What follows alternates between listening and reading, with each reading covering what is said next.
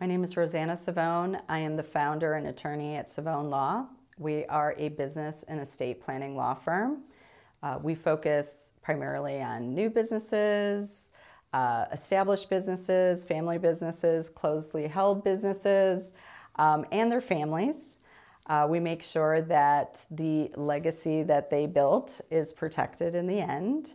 Um, but I also offer my services as outside general counsel to you know businesses that are generating anywhere from a million to 25 million in gross annual uh, revenues and I'm their trusted advisor, so I help them through everything, but I don't do it alone. I often work with accountants, uh, wealth managers, and also insurance brokers um, to make sure that the protection that these businesses have is cohesive um, and that there's no holes in their foundation and they can just focus on growing their business.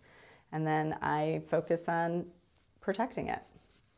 And I am Rosanna Savone, founder and attorney at Savone Law.